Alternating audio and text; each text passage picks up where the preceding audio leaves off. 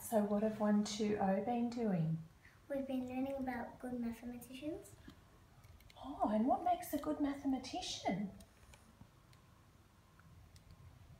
What do good mathematicians do? They learn, they think, and they never give up. They never give up. Is that what you've got on your whiteboard there?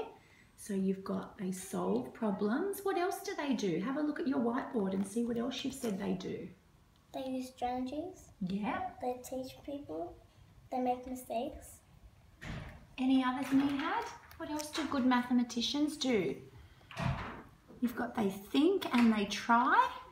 They think and they try. Mm. I don't know what's this one. That says mathematician. Oh, at the top it says they make mistakes.